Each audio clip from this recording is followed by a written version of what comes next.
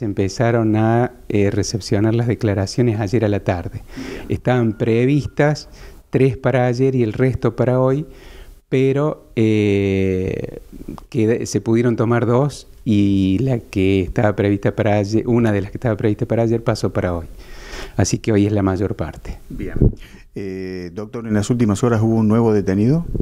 Sí, justamente en ese requerimiento del día de ayer nosotros vimos que había ahí eh, eh, que traer al proceso también a otra persona. la imputamos y pedimos su detención y allanamiento del domicilio, así que así se hizo ayer a la tarde por orden de este juzgado federal, que de manera muy, muy rápida eh, lo dispuso y se pudo operar, eh, la detención y el allanamiento eran en la ciudad de Córdoba.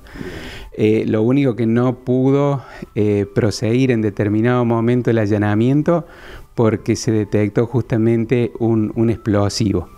y estaba activo, así que bueno, tuvo intervención el, grupo de, de explosivos de la policía de la provincia de Córdoba. ¿Un explosivo de carácter casero, digamos? Aparentemente sí, de carácter casero, sí, sí. Eh, pero eh, altamente peligroso porque los, los, eh, los, especialistas dijeron que al que lo tocaba le volaba la mano. ¿Tuvieron que desactivar primero este explosivo? Así es, así es, sí, sí. ¿Esta persona detenida es de, de, sexo masculino? Es masculino, sí, es decir que hay 10 masculinos y 2 femeninos.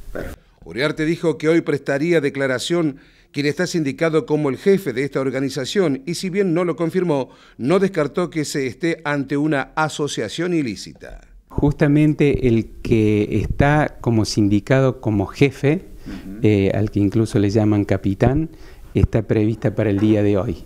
Eh, a quien se le tomó ayer era dos personas, eh, una sí de, alto rango, llamémosle así, y una inferior, pero que no tenían el liderazgo eh, propiamente dicho del, grupo. De las 12 personas detenidas, eh, ¿cuál es su procedencia? ¿De dónde son oriundos principalmente?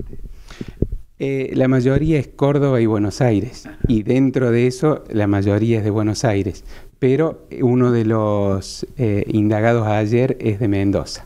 Bien. ¿Se puede definir alguna calificación legal ya a esta altura? Bueno, nosotros desde el Ministerio Público lo que hacemos es imputar la comisión de eh, hechos, es decir, de conductas, eh, de acciones.